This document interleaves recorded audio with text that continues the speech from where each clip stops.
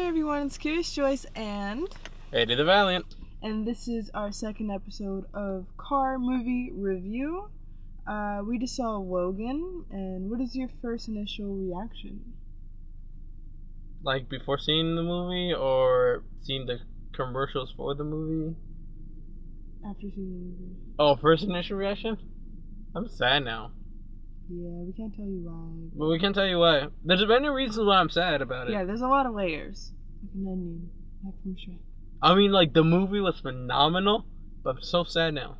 Yeah, so as usual, for each episode, we discuss the movie based off of believability, as in the story and the acting, and the genre factor, seeing if it's good for its genre, the consistency within the story, and the overall voting. Like, how many stars does it get out of five? So, first off, believability. Did you believe the story? Acting? Uh, okay. See, it doesn't go along with the comic book, so it never does.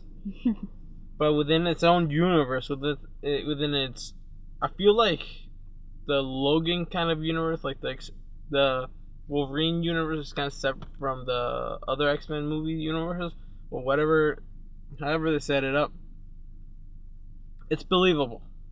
Within those, I mean, how they have persecuted the mutants and previous movies have led up to how it plays out in this movie. Like previous movies can believably end up causing how it played out in this movie.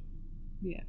Um, I believed it as well because I'm a big Marvel fan, although I've not read the comics, and I always ask him questions about stuff that I don't understand. No, he knows about it all, even though. Have you even read a comic book?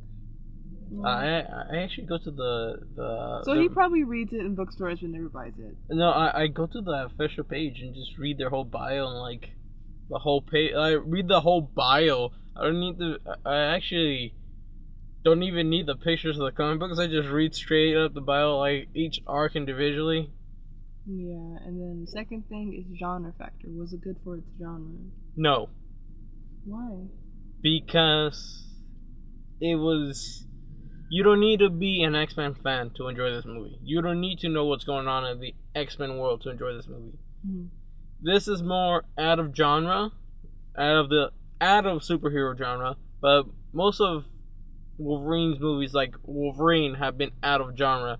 It just happens to be a guy with superpowers, but it's you know it's Wolverine. But Yeah, it, within its genre, no, but still very good.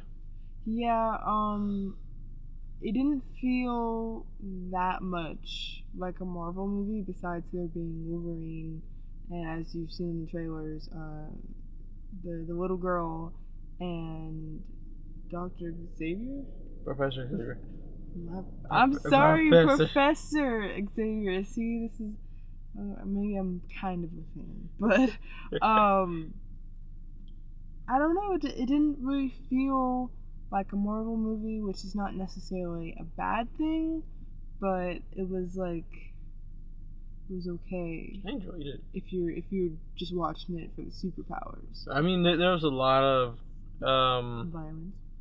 I was gonna say a lot of people that doesn't don't look like they're the average comic book lover at this thing. I mean, I'm the only one with a Deadpool shirt in there. I mean, like, Uh, where are all the Wolverine fans? How no one went dressed as Wolverine? It's premiere date. Where's mm. all my Wolverines at? Mm-mm. You don't have to dress up like Wolverine. Mm, where all my Wolverines at? I mean, look at him talking about where's his Wolverines at. He's wearing a Deadpool I read. shirt. I, I I wore this for a reason, and I knew the very. I knew this. I'm not gonna say nothing, but I, knew, I wore this for a reason.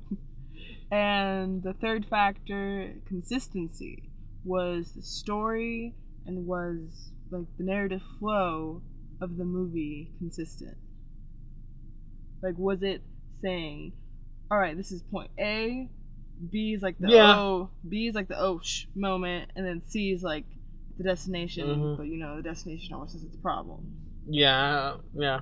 I mean, it was still a little bit predictable, as all movies are with me, but I enjoyed the ride. I really did. I did. I did as well. I, I expected the ending, but I was I expected the ending, but I was wondering when the ending was going to happen. Yeah.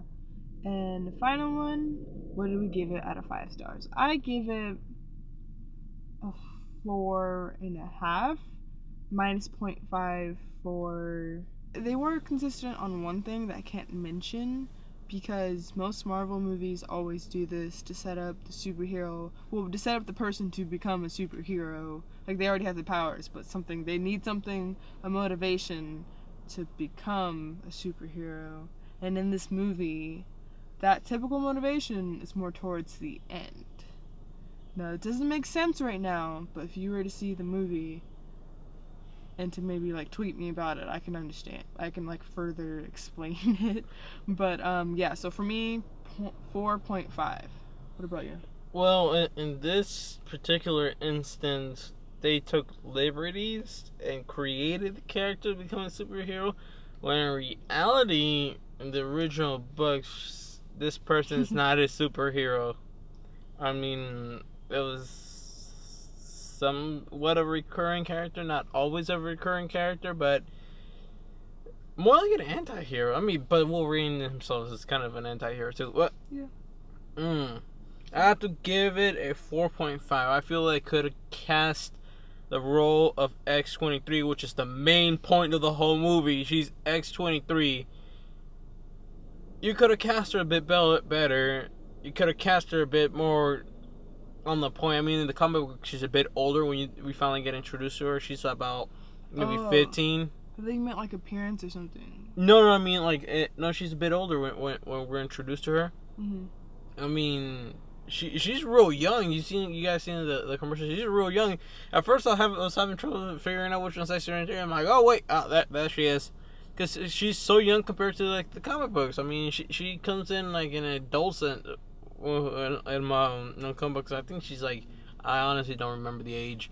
I think she's like 15, anywhere from 15 to 18 when she, you get introduced to her. But So I think them casting X23 as a little girl was like a director and like maybe marketing choice because I think it's more badass to see a little girl kick like all these adult men's butt by as you themselves. the commercial, Yeah, as you've seen in the commercial, rather than seeing a young adult or a woman, because you've seen that before already with X Men. So to see someone younger, like way younger, even younger than the students from the the Professor's X School for Gifted Mutants, right?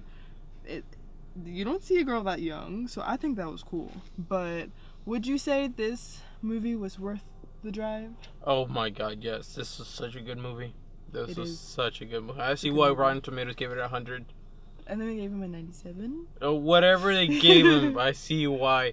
The only, I, I, but the only thing that that, that did, did uh, put me off putting is some uh, the casting. director. I think they even got her claws wrong. I don't know. I, I'll have to Google it.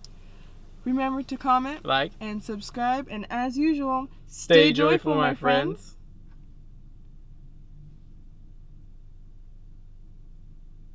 No. No.